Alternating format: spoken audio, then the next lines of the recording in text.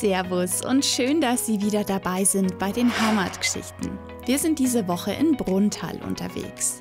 Die Gemeinde liegt auf der Münchner Schotterebene und zählt rund 5800 Einwohnerinnen und Einwohner, die verteilt auf zehn Gemeindeteile leben. Herzlich willkommen zu den Heimatgeschichten. Heute besuche ich den Verein Zivilcourage für alle. Besser gesagt, die Frau Singer und die Frau Schnieders. Hallo, grüß Sie. Hallo. Schön, dass Sie sich heute Zeit nehmen. Wir treffen uns hier im Rathaus, weil Sie ja so als Verein gar nicht irgendwo stationär sind. Sie sind ja überall in Oberbayern unterwegs. Genau. Der Sitz des Vereins ist in Brunntal, weil ich Brunntalerin bin und seit 23 Jahren hier lebe. Aber der Verein selber, die Trainings, die Vorträge, die wir halten, machen wir hauptsächlich in München und in Bayern und teilweise auch in Deutschland. Also weit über die Grenzen von Brunntal heraus unterwegs, genau. aber hier dann doch irgendwie zu Hause. Frau Singer, wie ist Ihr Verein überhaupt entstanden? Es gab ja einen ganz konkreten Anlass. Genau, und zwar war das 2010. Da war ein bedauerlicher Vorfall in der S-Bahn in München. Da hat Dominik Brunner ähm, zwei Jugendlichen geholfen, die von zwei anderen Jugendlichen angegriffen wurden, hat schon in der S-Bahn Stellung genommen und ist dann rausgegangen, S-Bahn-Station Sollen. Und ähm, da kam es dann leider zu einem Handgemenge mit den beiden Jugendlichen, woraufhin Dominik Brunner leider verstorben ist. Und unser Verein wurde quasi aus diesem traurigen Anlass heraus gegründet.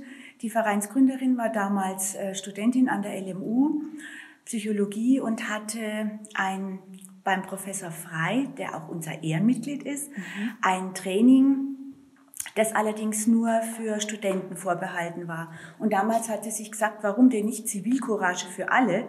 Und so kam unser Verein äh, zustande ist gegründet worden, damit wir als Verein für alle Zivilcourage, den Wert Zivilcourage in die Welt tragen.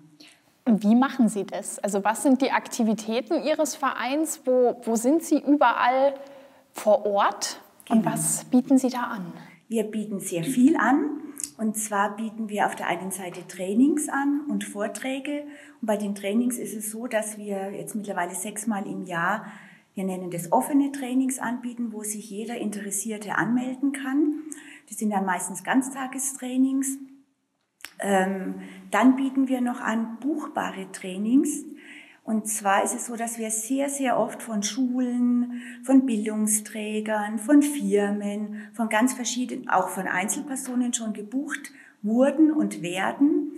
Und dann gehen wir vor Ort in die Schule oder in den Bildungsträger und halten zielgruppenspezifische Trainings. Es wird dann immer im Vorfeld abgefragt, was ist Ihr Schwerpunkt, wie viele Teilnehmer, wie alt sind die Teilnehmer und daraufhin kommen unsere Trainer in die Schulen, in die Bildungsträger, wohin auch immer und halten die Trainings, Zivilcourage-Training, um quasi zu vermitteln, wie man richtig reagiert, ohne sich selber in Gefahr zu bringen. Das ist ja genau der Punkt. Genau.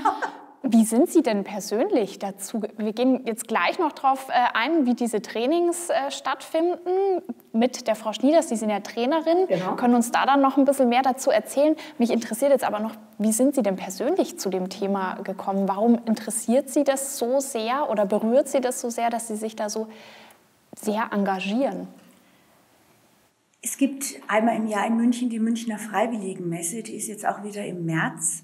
Und ich war ähm, 2012 war ich auf der Münchner Freiwilligenmesse, weil ich mich ehrenamtlich engagieren wollte. Es war für mich klar, ich muss irgendwas für die Gesellschaft tun und da habe ich ähm, den Verein Zivilcourage für alle kennengelernt. Ich fand das Thema mega spannend und mittlerweile auch wichtiger denn je und ähm, fand auch die Organisation des Vereins und auch die Mitglieder toll und ähm, engagiert und da habe ich mir gedacht, da mache ich mit und bringe mich da ein. Mittlerweile bin ich die Geschäftsführerin von dem Verein. Wie lange sind Sie denn jetzt schon als Geschäftsführerin mit dabei? Zwölf Jahre. Zwölf Jahre, mhm. das ist eine lange Zeit. Ja. Inwiefern hat sich denn für Sie selber das, äh, die, ich sag mal, das Verhältnis zum Thema Zivilcourage verändert? Ist es in Ihrem Alltag jetzt was, wo Sie vermehrt darauf achten, wenn man sich da jetzt so viel damit beschäftigt? Auf alle Fälle achte ich persönlich auch mehr drauf. Also zum Beispiel, wenn ich in der S-Bahn irgendwie eine Situation erlebe, ähm, wo ich früher geschwiegen hätte, sage ich jetzt was. Mhm. Ähm, und was ich halt auch vom Verein her merke, dass wir unheimlich viele Anfragen haben.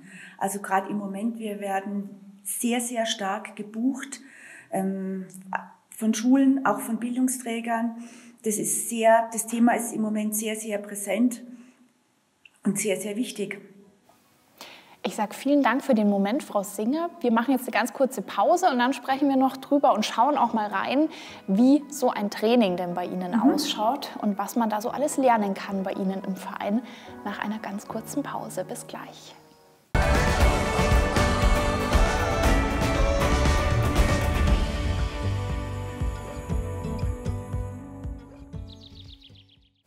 Willkommen zurück zu den Heimatgeschichten aus Bruntal. Heute beim Verein Zivilcourage für alle. Und da sehe ich jetzt halt auf Ihrem Flyer ganz prägnant den Satz: Ein Satz hilft. Und zwar welcher? Der Einsatz für die anderen. Ach, also nicht ein Satz, sondern ein Satz. Naja, es ist ein bisschen mhm. doppeldeutig. Ne? Mhm. Es kann auch manchmal als Einsatz auch nur ein Satz helfen. Mhm. Und manchmal muss man vielleicht mehr tun weil Zivilcourage ist ja eine besondere Form des Mutes. Wie der Name schon sagt, es ist ein sozialer Mut, es ist der Mut, sich für andere einzusetzen und anderen beizustehen in Situationen, wo sie vielleicht äh, diskriminiert werden, ähm, verbal oder wo auch möglicherweise Gewalt im Spiel ist. Sie leiten ja diese Trainings, Frau Schnieders, unter anderem. Wie kann ich mir denn so ein Training vorstellen? Was lernt man bei Ihnen alles und wie läuft so ein Training ab? Zu uns kommen Leute, die eigentlich in der Regel ähm, Zivilcourage leisten wollen, aber nie, die nicht genau wissen, wie. Wie sie die sich hilflos fühlen in, in verschiedenen Situationen und ähm, Angst haben, sich selbst in Gefahr zu bringen. Und wir versuchen diesen Menschen zu zeigen, welche Handlungsmöglichkeiten sie haben. Und das wollen wir in diesen Trainings. Darum heißt es auch nicht Workshop oder Seminar, sondern es heißt Training, weil wir das ganz aktiv mit diesen Menschen auch trainieren wollen. Wie kann ich mir das vorstellen? Ähm, das können Sie sich so vorstellen, dass wir nicht nur Theorieteile haben, wo es zum Beispiel darum geht, was ist Zivilcourage, was sind besonders schwierige Situationen für mich persönlich, wo ich äh, sagen würde, da kann ich keine Zivilcourage äh, zeigen. Ähm, und das wird ergänzt eben durch äh, ganz aktive Module. Wir machen Rollenspiele ähm, mit unseren Teilnehmern und Teilnehmerinnen äh, wo sie sich wirklich in dieser Situation erproben können an einer Situation, die Zivilcourage erfordert. Und äh, das reflektieren wir dann gemeinsam im Nachgang und erarbeiten dann auch mit den Teilnehmenden die Handlungsspielräume, die sie vielleicht in dieser Situation haben. Sie haben bei Ihnen auf der Homepage auch äh, einen Bereich, der heißt äh, Zivilcourage to go, also mit einzelnen Tipps. Haben Sie vielleicht da jetzt auch so ein paar Themen, die Sie unseren Zuschauerinnen und Zuschauern an die Hand geben könnten, was man jetzt mitnimmt, wenn man in so eine brenzlige Situation kommt, wie man sich dann verhalten sollte? Ja, also ähm, es gibt sicherlich Tipps, die wir eben äh, dann im Training auch ähm, zusammenstellen. Also wir sagen vor allen Dingen, die Grundvoraussetzung äh, ist, dass äh, wir aufmerksam sind, dass wir äh, aufmerksam sind äh, im Alltag und äh, wahrnehmen, ob es irgendwo eine Situation gibt, wo jemand sozusagen in einer Notsituation ist oder sich ungut fühlt. Ähm, und dann heißt es, den ersten Schritt machen. Nicht abwarten, dass andere etwas tun. Das ist ähm, ein Phänomen, was es gibt, dass die Leute sich häufig an den anderen Menschen orientieren und sagen, wenn die nichts machen, dann mache ich auch nichts, dann muss ich auch nichts tun. Wir sagen, selber den ersten Schritt machen, äh, sich vielleicht Verbündete suchen, andere Menschen mit einbinden und sagen, schauen Sie mal, da vorne wird offensichtlich jemand bedroht, wollen Sie äh, ähm, mitkommen, wollen Sie ähm, mit mir zusammen versuchen einzugreifen. Ähm, dann geben wir immer die Empfehlung, dass man, wenn man in so einer Situation eingreift, sich nicht äh, so sehr mit den Tätern beschäftigt, sondern eher mit dem Opfer, dass man versucht, äh, dem Opfer zu helfen ähm, und das Opfer aus dieser Situation möglicherweise herauszubringen. Wenn man sieht, es ist eine Situation, die eskalieren kann, die richtig gefährlich wird, sagen wir auf jeden Fall die Polizei rufen. Das kann man immer machen, ähm, weil die Polizei auch sagt, lieber einmal zu äh, viel anrufen als einmal zu wenig. Hm. Und was wir auch immer noch mit auf den Weg geben, dass man in einer solchen Situation gut beobachtet, weil die Polizei häufig äh, darauf angewiesen ist, ähm, dass man eine gute Zeugenaussage äh, geben kann. Gab es denn aus Ihren Trainings auch schon Feedback, sage ich mal, dass Leute dann zu Ihnen gekommen sind danach, die gesagt haben, hey, ähm, das hat mir total geholfen, ich bin jetzt nämlich in die Situation XY gekommen und konnte das Gelernte da auch anwenden? Die Situationen haben wir immer wieder mal. Wir haben auch Kontakt mit den Menschen, die mit unseren schon Trainings gemacht haben. Wir sind ja schon zwölf Jahre aktiv und wir haben schon mit äh, über 3000 Menschen ein solches Training gemacht. Äh, insofern bekommen wir immer mal wieder Feedback. Äh, wir bekommen vor allen Dingen das Feedback aus unseren Trainings, nach den Trainings, dass die Leute sich, die Menschen sich selbstbewusster fühlen, jetzt in einer solchen Situation einschreiten zu können, weil sie einfach Handlungsempfehlungen haben. Also dass sie dann auch überhaupt aktiv geworden sind, vielleicht auch, weil sie diese... Weil es geht tatsächlich bei Zivilcourage auch äh, erstmal sehr stark um ein Selbstbewusstsein, das man hat und sagt, ich kann das, ich will das, ich habe die Kompetenz und ich habe vor allen Dingen das Wissen, wie ich richtig handle. Und dieses Wissen können Sie halt in unseren Trainings mit uns gemeinsam erarbeiten. Abschließende Frage. Sie haben jetzt schon gesagt, zwölf Jahre ist der Verein jetzt schon aktiv. Hat sich das Thema Zivilcourage in dieser Zeit verändert? Ist es heute wichtiger geworden? Ist es anders geworden? Brauchen wir sogar häufiger Zivilcourage heute? Also aus meiner Sicht auf jeden Fall, weil ähm, ich glaube, es vielen Menschen so geht, ähm, dass wir das Gefühl haben, der Ton wird ruppiger in der Gesellschaft. Dinge wie Respekt und Toleranz äh, werden häufig verletzt, auch im Miteinander.